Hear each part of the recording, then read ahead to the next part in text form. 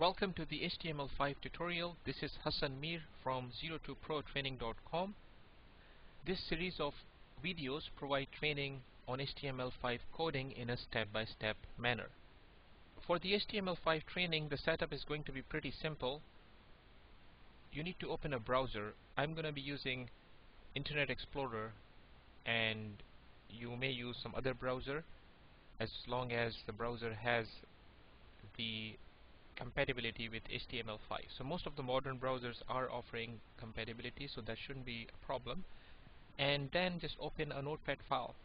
We can use this as our editor. If you want to use a different editor, please feel free to do that, but I'll be using a notepad.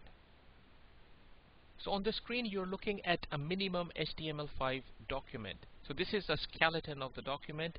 At least it should have these tags that you're seeing on the screen. So let's take a look at what we have.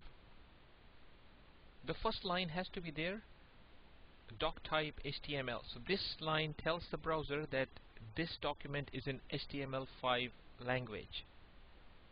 So this is required. Then we have a beginning HTML tag and ending HTML tag. So anything in between is your HTML content.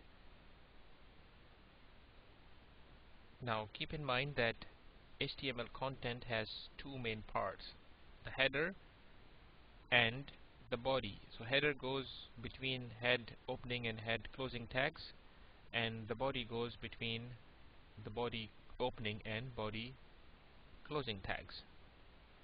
So the most popular item that goes in the header is the title.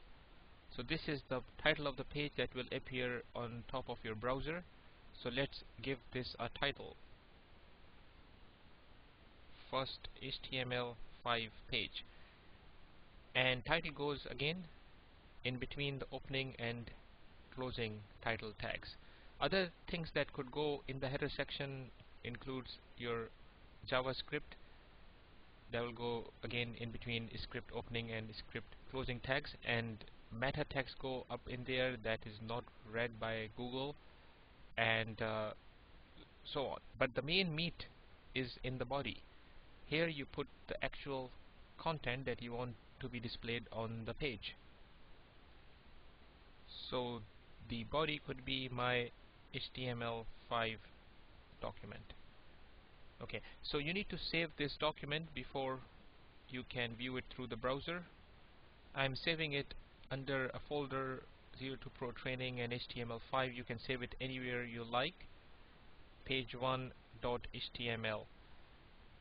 now I am using double quotes just to make sure that notepad doesn't give its own extension .txt at the end in order to view the page through the browser you need to put in the location and the file name in the URL field of the browser keep in mind this file is still on your computer it's not uploaded on a web server so you need to put in the full path of the file as it is located on your computer. Hit enter.